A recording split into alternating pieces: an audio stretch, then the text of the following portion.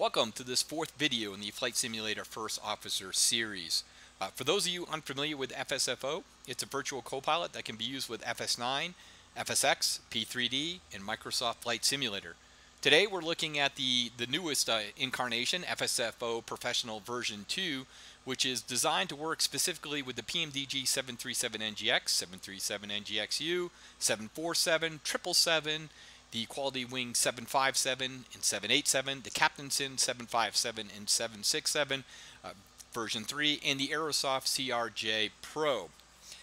FSFO is uh, different from uh, the other virtual co-pilots that you may be familiar with in that it's highly flexible, very simple, but yet still very realistic. Uh, FSFO allows novice uh, uh, users to fly very complicated aircraft with very little knowledge. In fact, all you need to do is uh, is be able to program the FMS, and you can pro and you can fly these uh, these sophisticated uh, machines too. It's also built and designed for the uh, for the virtual flyer who values realism, but simply doesn't have the time in their life, uh, rather through work or, or life, to perform an hour plus uh, pre-flight flows. Um, or to go through manuals to follow specific scripts. So FSFO covers both those genres. It covers the, both the the novice and the uh, and the uh, complicated user. And I hope you get a sense of that uh, today. Uh, with that in mind, let's go ahead and uh, let's enter the the co-pilot here, or excuse me, enter the cockpit this PMDG uh, 747 cargo variant Atlas Air. And the first thing we're going to do is we're going to configure FSFO to to to work uh, here with this aircraft and go through the, uh, the, the, available configurations. Um, we're not going to go through them all. We covered uh, these uh, at great length in earlier uh, videos. So what I'm going to do is just highlight the differences between uh, the, the, the configuration options from FSFO Pro version 1 and FSFO Pro version 2. most noticeable uh, is the uh, the sound configuration. Uh, it has a completely new sound wrapper. FSFO prior incarnations required you to output your sound through whatever default Microsoft setting you had. this new version allows you to select which device uh, you want to hear uh, the sounds from. Typically, I have the uh, Copilot coming through my USB headset, and then I have the flight attendant's announcements coming through my speaker. that gives the illusion that the that the that the flight attendants are behind me, much like they would be in the real aircraft. It helps with the realism. However, today I'm actually going to set this to make sure that they're both going through my speakers. I have actually recorded this already.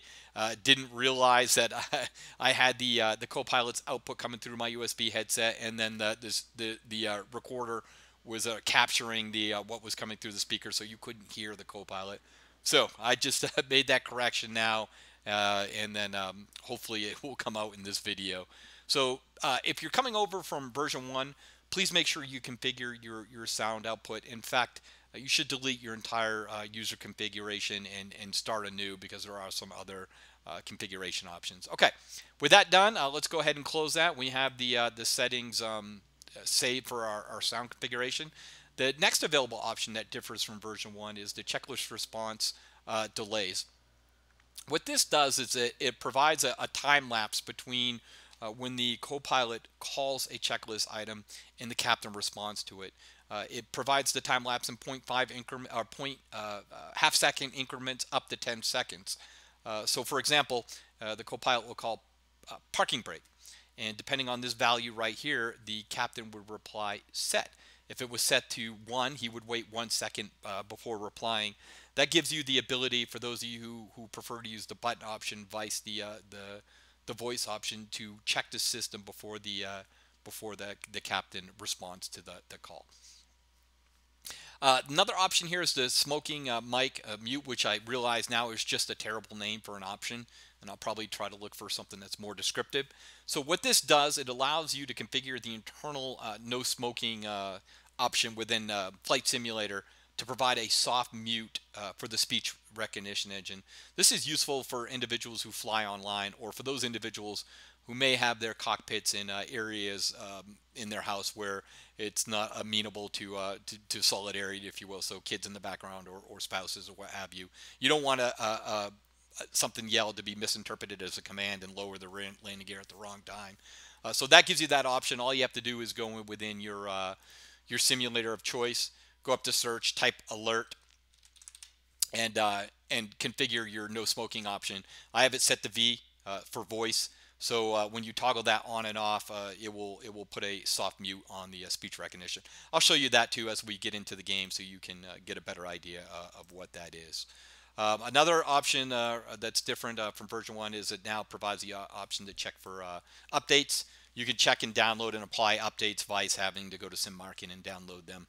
so it's kind of automated here. You can also check for messages. Uh, this is where I'll, I'll, pipe the what's being worked on and what you should be looking out for as far as uh, FSFO is concerned. Right now, we're adding the uh, Aerobus uh, uh, lineup into the Pro version 2. Uh, that will be a, a free update later on. Um, and then after that, we'll add the Majestic Dash 8. I'm trying to focus on aircraft I think that are going to be converted over to, to Microsoft Flight Simulator, so there'll be less work into the future when we make FSFO available for that simulator. Um, Okay, and that's uh, that's kind of it for the uh, for the updates. Uh, I have updated the um, the, the nav option too. Uh, there was some problems before, so if you're coming over from version one, you should update your nav data uh, again. All you have to do is uh, go ahead and click that button, then click browse, then navigate to whatever executable you have. So whatever simulator executable you have, just go ahead and, and navigate to that. click open and then it will locate it. That way it knows which make runway directory it's used. And then when you're ready, just hit update nav uh, database. Uh, you should do that if this is the first time you're using this. This will uh, populate the, the right uh, ILS, the right courses, the right runway settings that FSFO uses. I've already done that. That does take up to 10 minutes to do. Uh, so even if you're coming over from version 1, you should re-update your nav database. Okay, that's all for configurations. Again, we'll discuss a few more of these as we uh, as we get into the the flows and the checklist. But I encourage you to um, to watch earlier videos or to open the manual, uh, and then you can read uh, which each one of those options uh, does and uh, what's beneficial, what you want to use and what you don't want to use. Okay, with that said, let's go ahead and, and get out of this now, and let's uh, let's connect the FSFO to the simulator. Uh, by design, FSFO is an external uh, application that uses FSUIPC to read the values. Uh, I want to keep it external. I don't want FSFO to ever mess with your uh, with your configuration or with your your aircraft configuration file. I want to keep it separate. Uh, just because it's easier to do and I think it's better for the user. I don't want anything messing with my configuration files and I don't think you do either. All right, so with that said, we're going to go ahead and hit connect. If the connection is successful, this will turn to connected and it will turn green, uh, which it does, and then it will return the aircraft weights and the fuel values in the message box here. Okay, so one configuration option we are going to discuss is the auto option. Uh, what this does is it initiates the auto flows when certain parameters are met.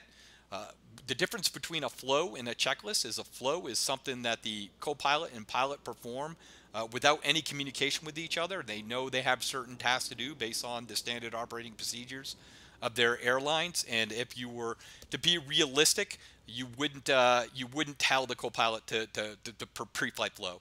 Uh, these are professional pilots; they know when they have to do certain acts. So. Uh, with that said, the pre-flight flow is initiated when uh, when we open the main door. That kind of uh, simulates the the co-pilot entering the cockpit. Uh, the before start flow is initiated uh, when you close the main door, again by hitting Shift E. The after start flow is initiated when all engines are started and, uh, and stable. Uh, the uh, after landing flow is initiated when you reach your destination airport and you vacate the runway and the aircraft falls below 14 uh, miles per hour. And then finally, the shutdown flow will be initiated at the at once you reach the gate at the destination airport and set the parking brakes. Uh, if you don't want to have automated flows, you want total control over that, you can simply uh, deselect this option right here, and then you can either click the button. If you use voice command, you can say pre, uh, pre-flight flow, or if you have the uh, add to uh, FS menu enabled right here, uh, you can also access it from inside the simulator, go FSFO, and then whatever you, you so choose to desire.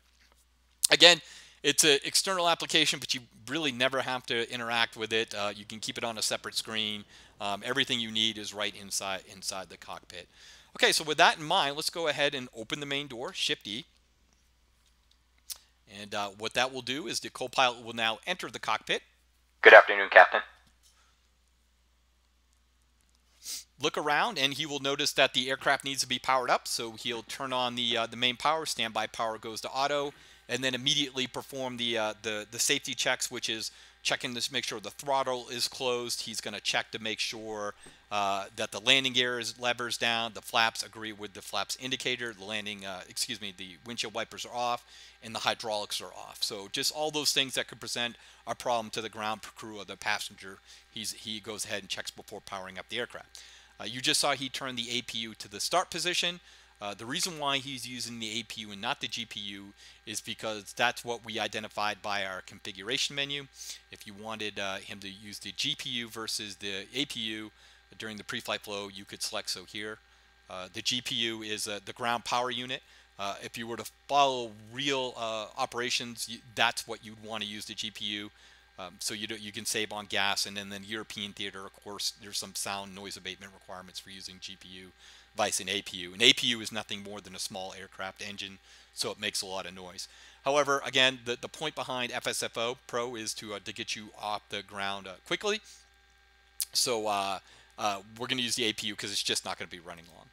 Okay, so now the aircraft is, uh, is uh, powered up. You saw the co-pilot there wait for the APU to spool, which he did and then he went ahead and put the uh, the, the, the initiated his checks. You can see right now he's performing some system tests. Um, he just did the uh, the the test. Um, you can see the CVR test right there, uh, just completed. Then he's going to do the Squibs one and two test. Uh, the reason why he's doing that is another configurable option: uh, perform test when aircraft not powered. Yes. Uh, when he entered the cockpit, it was in a cold and dark state, so he assumed this would be the first flight of the day and now he's performing uh, those system tests.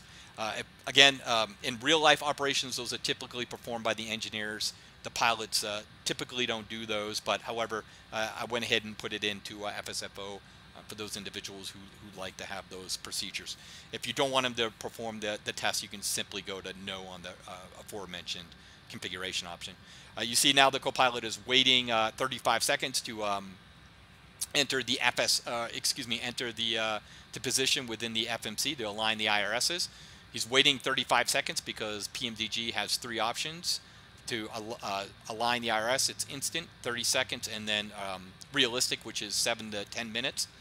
Uh, so the 30 seconds there is the is for those individuals who have the 30 second option set. You can program the CDU now. Okay, so again, he aligned the IRS. It literally does uh, everything for us except for program the FMC, which we're going to do here in a little bit. Heading out for the walk around. Uh, he aligned the IRS, set the IRS position, and now he's heading he's heading out for his uh, checks. Basically, he's going to go outside, make sure the lights are good. He's going to check to make sure the pitot uh, tubes aren't covered, uh, make sure nothing else is covered, uh, and the aircraft is in uh, good condition. While he's performing the walk around, that's the pilot's chance to to go ahead and um, program the the FMC. One thing I do want to show you, you saw the pilot enter the IRS position. Again, that's a configurable option. Uh, it's right here, co-pilot set FMC position. If you don't want the uh, co-pilot to set the, you just uh, the FMC, but you can deselect that. Uh, you should keep in mind on some aircraft, that's not an option to do. PMDG aircraft, though, it is. So uh, there it is. So now, while the co-pilot is uh, is performing his walk around, let's let's get the program in the FMC. We're going to go ahead and set some fictional data too, like the fuel. we'll just use a random 100,000 pounds. Um, I, I, didn't prepare a flight plan today, uh, so but it's uh, no big deal. We can uh, we can go ahead and just enter some uh, some irrelevant data.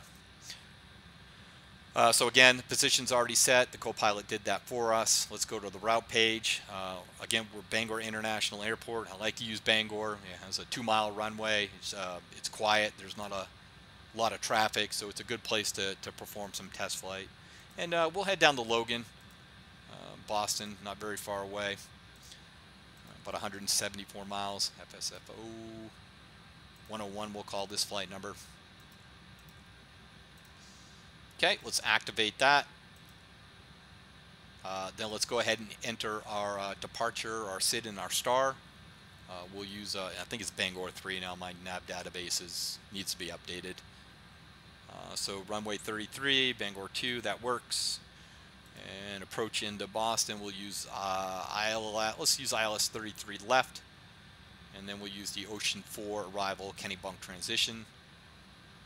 And then bend will be our termination or, our, uh, excuse me, our point. Let's go ahead and activate that. Okay, that all looks good. We'll come to our NIT reference page. Uh, we'll confirm our gross weight of uh, 582,000 pounds.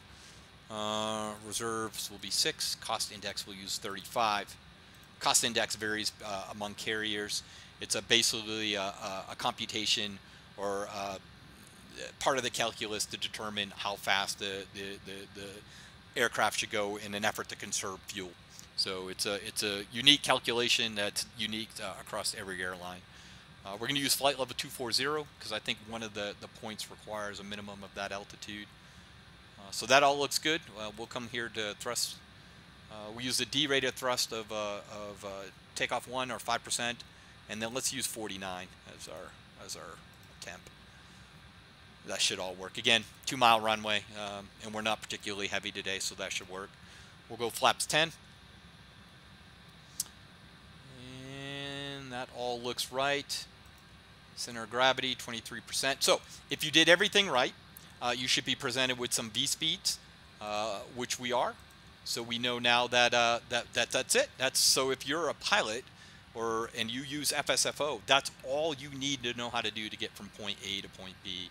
Uh, and there's plenty of videos out there that show uh, how to program the FMS. And for Boeing aircraft, uh, once you once you learn how to program one, they're all fairly similar. I mean, you're, you'll be good to go. Okay, so with that in mind, um, that's a good time to, to go ahead and, and import our flight plan. Uh, for PMDG aircraft, importing a flight plan is not necessary. Uh, the people over there at uh, PMDG Expose have a tremendous, powerful SDK. Pretty much all the data within the FMS is exposed, so I can get things like the uh, the top of descent and, and the distance and VREF speeds and all that. Um, however, for let's say for example the uh, um, if you're using the uh, 737 the PMDG 737 and you want the uh, the co-pilot to um, set your ILS and courses for you um, then you would want to uh, go ahead and import a flight plan here uh, because uh, oh, I gotta find my flight plan here we go we'll use this one so any FSX P3D flight plan generic flight plan will work so so now we're all imported. You can see the distance is 174 nautical miles. We're good to go. Uh, I'm going to set runway 33. Actually, let's let's re-import that. We'll download some weather this time just to make sure we have the right runways. Yep, so there's our weather 300, so runway 33 works. Uh, I think we said 33 left, which is perfect on a wind of 280. That also works. I hear you're presented with some runway information. Um, um, all the relevant uh, ILS and the length and the and the the heading and, and, things of that nature. Again, for PMDG aircraft, you don't need this. Uh, the only time you would want to use it if you for if you have certain configuration options set. For example, we have managed the MCP. So when the co-pilot returns from his walk around and he continues his flow, uh, you're going to see him set the MCP. So he's going to set our speed for us. He's going to set our heading for us. He's going to set our uh, our altitude for us flight directors and the auto throttle and that's because we have this setting here. However, he can't set the heading if he doesn't know which runway we're taking. So uh, importing a flight plan and sending this to uh, 33 lets him know, hey, I need to set that heading to uh, 333. Uh, another useful option is if you want to have the anti-ice on uh, for takeoff and you select this option right here to on, the co-pilot will uh, will set the anti-ice to on on the before takeoff checklist. here actually is the SID. This is useful. Uh, we're going to inform the co-pilot we're taking a vectored approach. So during the after start flow, he's going to set the uh, the VNAV and the LNAV uh, to on. However, because we have this vectored, he will not set the LNAV. It's going to be because it's a it's going to be a heading select, and then the ATC is going to vector us to our first waypoint. Uh, because remember, we said we're going to take the Bangor 2 departure, and that's a vectored departure. So that's useful here too. So the co-pilot set toga option uh, what that does is after you perform the before uh, start checklist and you center the aircraft on the runway and you increase the, the N1 pass 50%, the co-pilot will go ahead and, and hit the uh, the toga screw for you.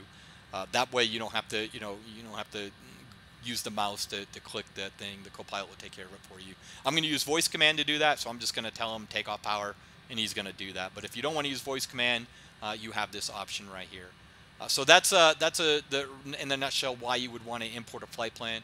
On all non-PMDG aircraft, it's critical. You have to import a flight plan on every uh, flight uh, uh, because otherwise the the co-pilot won't know when to do certain actions, um, won't know when to, um, uh, the, for example, uh, when you reach cruise altitude, he won't give uh, the, the passengers the, the cruise altitude message um, if he doesn't know what the cruise altitude is. So make sure you import a flight plan when using anything but a PMDG uh, aircraft. Okay, so there's the flight plan, all done. Uh, the walk around has 73 seconds to go, but what we're going to do, I think, is we're just going to call him back early by hitting our uh, control button. Walk around complete. There you go, walk around complete. Weather reports look pretty good. Okay, give us a weather report. Um, and then uh, he's going to go ahead and, and, continue his flow going down the panel, down the panel, uh, down the panel. You notice we only have one APU generator on. That is not a, a bug. Uh, it's a cargo variant, so there is no need to keep the, the second uh, APU generator on. We're not the galley power. We don't need galley power or there's not a big power demand in the rear of the view, uh, the aircraft at this time. Uh, so, so we don't need that second uh, APU uh, running. Similarly, the packs, he should only set two packs. Again, you don't need to, to, to, cool the back of the aircraft or heat the back of the aircraft right now because there's nobody in it. There's no packs. This is a cargo variant. So here we go. He's going to work down. Yep, there we go. Set the, the both packs. Um, now he's down to the MCP, so you see he worked down the panels, and now he's going to work across, so he's going to set the MCP, set the speed, set the heading, set our altitude, and now he's uh, setting his EFIS, uh, which again is another configurable option. If you don't want him to touch that, you can simply tell him uh, to not do so by unchecking this right here. Okay, so the EFIS is done. Now he's going to work his way down to the to the CDU. Uh, he's going to make sure his CDU page matches what's on the uh, the captain's CDU page. Um, this is all standard Boeing uh, uh, procedures. We're following the flows as recommended. Uh, again, for the MCP, if you wanted to follow actual uh, procedures, you would leave that unselect. the pilot, the pilot in command, is the one who typically does the the MCP along with the radios and sets the altimeters and then the co-pilot will take care of everything else. You just saw uh, the co-pilot just did a TCAS test again. That's because it's the assumption that this is the first flight of the day, so he's doing all those tests. Uh, now he's working his way down. He should be down on the lower pedestal. Uh, again, setting the auto brakes to RTO, and then uh, the passenger signs going to on. Uh, oxygen test, and then after this, we should be checking the uh, the EICAS. We'll check the doors page, the oxygen, to make sure everything is good.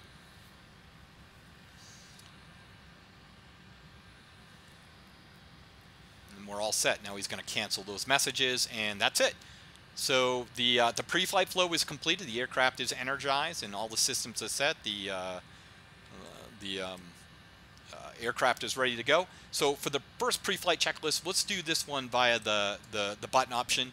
Um, we won't use voice. We'll use the voice on the uh, before start checklist. So let's go ahead and, and click on the pre-flight checklist. Pre-flight checklist. Oxygen. Tested. Flight instruments. Heading set. Altitude set. Parking brake. Set fuel control switches.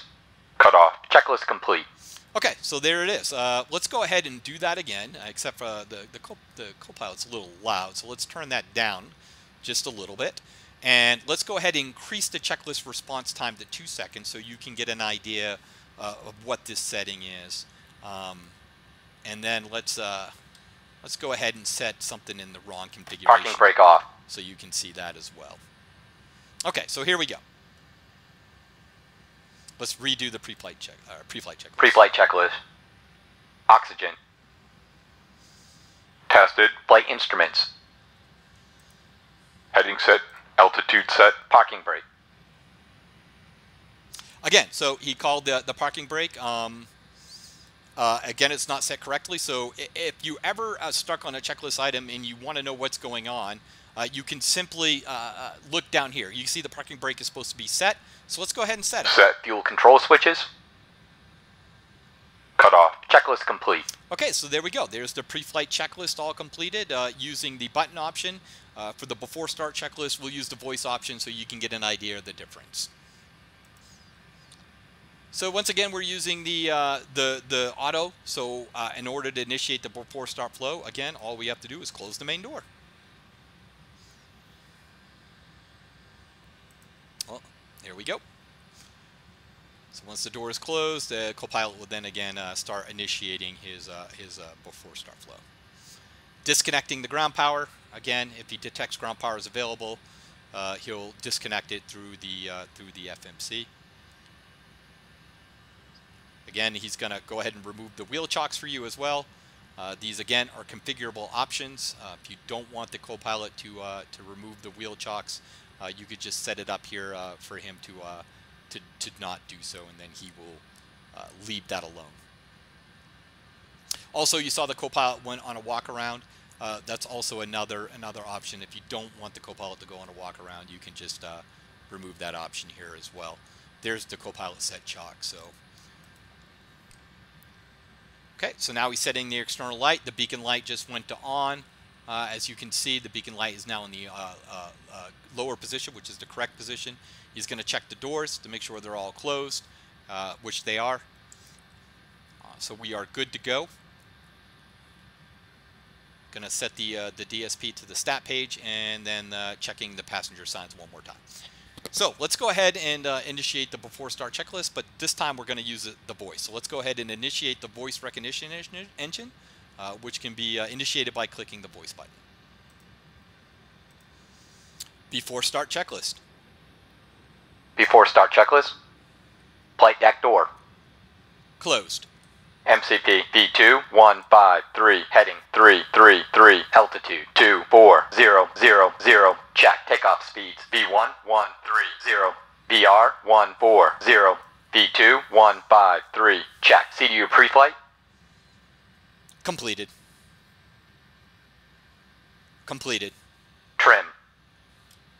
We did not look at that. So I'm going to go ahead and soft mute the uh, the uh, the voice. So right now he's not listening. Check, set, doesn't care. I did that by simply uh, hitting V button, uh, which again toggled my, my smoking. So the trim was set to 5.5. Uh, I think we're pretty close to that right now. I think a little bit down and we're good to go. Okay. So we look good. So let's go ahead and toggle this no smoking back on and bring the uh, voice back to, to life. Set. Taxi and takeoff briefing. Completed. Beacon light. On. Checklist complete. Okay, so there we go. Uh, we're all set for uh, for the engine. So let's go ahead and initiate that via voice too. Oh, one thing I wanted to mention, you, you heard the uh, the Copilot um, call out the, the speeds. Again, that's another configurable option. It's uh, it's uh, call speeds, call numbers. I mean, uh, if that is uh, not checked, he would just call out set or checked if these are all set to the appropriate value. Uh, the same with the V speeds. hopefully, you'll notice that that that's been improved since version one. Version one was a little robotic. Uh, this version is is less so. So um, let's go ahead and um, and uh, let's start the uh, the next phase. Start engines. Starting engine four. Okay, so uh, we did not use. Let's go ahead and toggle the voice again. We did not use uh, the auto start option, which was an option on this aircraft. Had we used the auto stop auto start option, he would have started four and three simultaneously and uh, and went ahead and uh, initiated the, the cutoff to, to the on position. Uh, and then the computer would go ahead and determine when the fuel is uh, is uh, inputted into the system to cause the ignition. However, because we did not uh, push the auto start to the on position, he's going to do the traditional wait until the aircraft um, reaches 20% N1, and then he then he initiates the fuel into the system, and he'll do this. Engine four cutout. So there we go. Starting engine three. Okay, so now starting engine three, and we're just waiting uh, again for the uh, for the uh, N2 to rise above 20%, and when it does, he will initiate fuel into the system to cause ignition. I'm kind of showing you the non-auto start because not all the aircraft have the uh, the auto start option.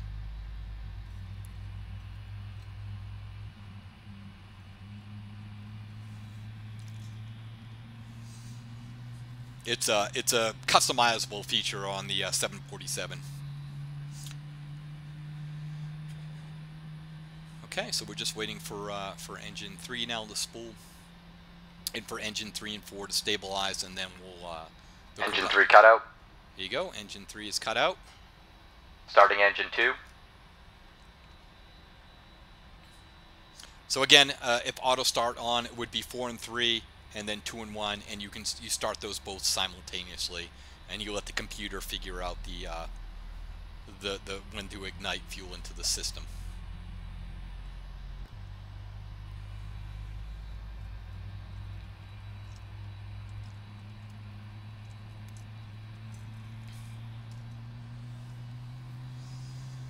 Again, uh, one thing I, I, hope you're noticing is um, do not have to, to, to read the manuals. The, the, the co-pilot's got your back. Um, program the FMS and, and you're good to go. Engine 2 cut out. Here we go. So engine 2.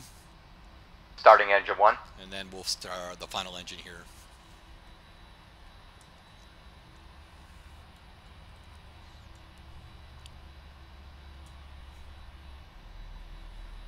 At 16%, 18%, and above 20%, there it goes to the fuel into the system.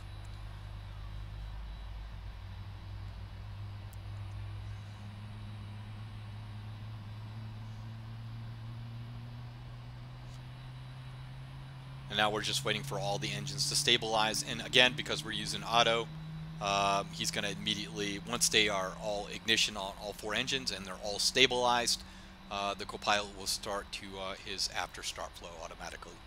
Engine 1 cut out. All engines stable. There we go. So the engines have stabilized. And he's turning off the APU. Again, that's another configurable option. APU off after start. Some airliners do require the APU to remain uh, on until uh, until the after uh, after takeoff checklist. If you fly for a VA that requires that, you can simply uncheck that right there.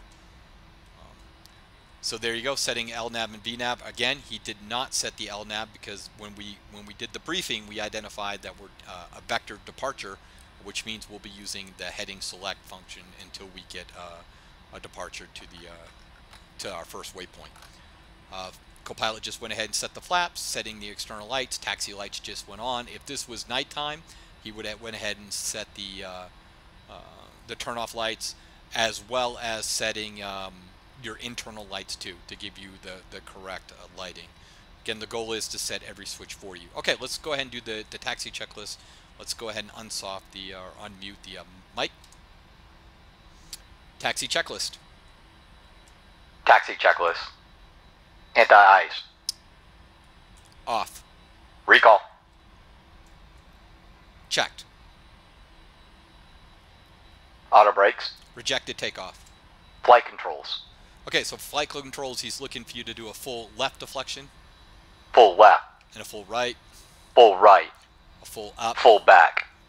Before I do full forward, uh, if you want to include the rudders, you can just simply uh, click on this option right here and then you can include the rudders in that test. So let's go ahead and do full right deflection. Check, ground equipment. There you go. Cleared. Checklist complete. Okay, so there you go. Uh, we're all set now. We're going to go ahead and uh, before takeoff checklist. Before takeoff checklist. Before takeoff checklist. Flaps. Set. Checklist complete. And now you should see him turning on the lights. There you go. Strobe lights and landing lights are on. Set his EFIS. He's going to go to terrain mode. And we're ready to go. Advance the, uh, well, let's take off the parking brake off. Parking brake off. Let's go ahead and uh, advance the throttles. Take off power. Thrust set.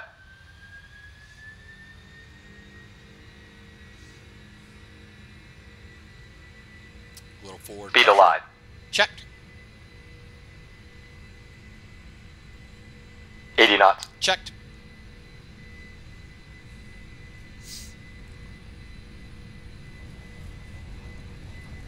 V1.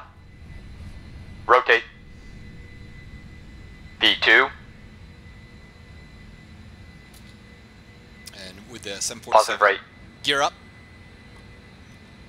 Landing gear up.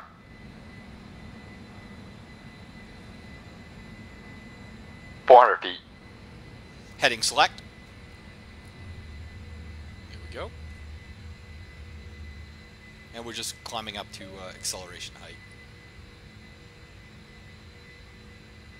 Acceleration altitude. And we'll pitch down to get some speed. And start to retract our uh, flaps. Flaps 5. Flaps five. Autopilot on. Autopilot on.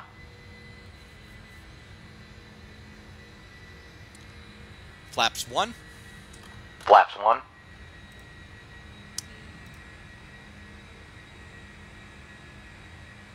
Set heading. 240.